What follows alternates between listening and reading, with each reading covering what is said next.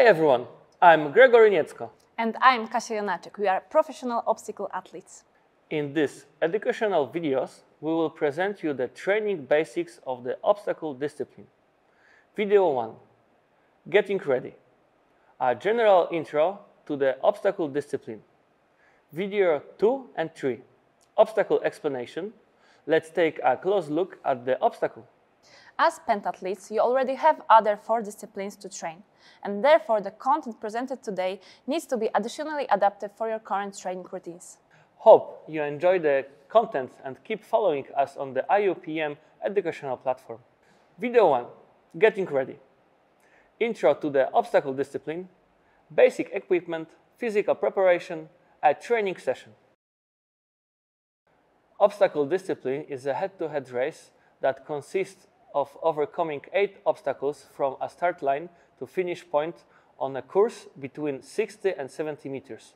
Athletes can run, walk, jump, climb, scramble, lift, carry, or otherwise prepare themselves across, under, over, along, or through the obstacles. If an obstacle is followed by a landing platform, the condition for the correct completion is to land to the platform if no platform to jump with both feet beyond the line marked on the ground or mattresses underneath the obstacle. Let's see what the basic equipment of the obstacle discipline is. Please pay attention to what is allowed and what's not. In the obstacle discipline, when it comes to equipment, there are a few important things that we must remember. Athletes must compete in sports shoes. Do not wear shoes with spikes. It's good if the sole is not too thick, because too much cushioning may make your foot feel worse on the ground, less stable. You can use wristbands, compression sleeves, and taping. Sunglasses or eyeglasses are also allowed, but only with safety stripes. Jewelry is not allowed. You can't have any watches, necklaces, rings, etc. Also, loose apparel or unsecured hair. What's very important it is forbidden to use magnesium, chalk, or any other sticky substances on your hands. The situation is different with gloves. They can be used, but we do not advise it. They can be useful in the initial period of training to protect your hands from abrasions and curl until the hands get used to it and become more durable. Pentathletes have a great sport preparation. But let's remember that the obstacle course requires slightly different skills from each of competitor. We need to work on the acceleration, hand strength and grip.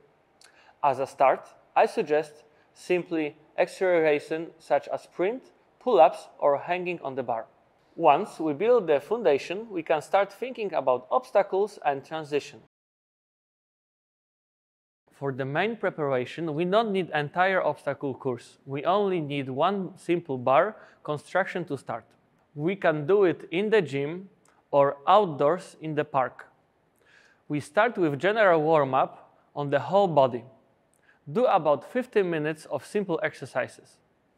Target training should focus on shoulders, grip and legs. Running, pull-ups and training on simple obstacles will increase your predisposition.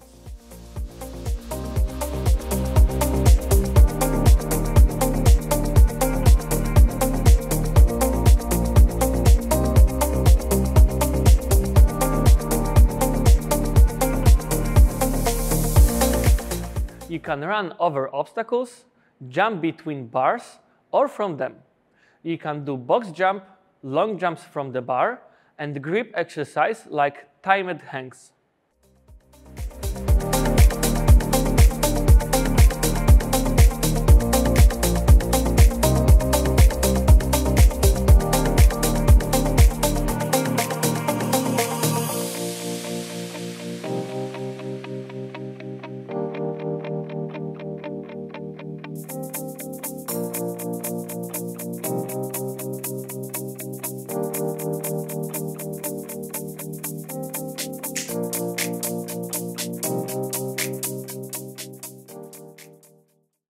For basic construction, you can use scaffolding or aluminium truss. Both solutions can be used to hang different obstacles. Don't forget to put mattresses or mats underneath the construction for your safety.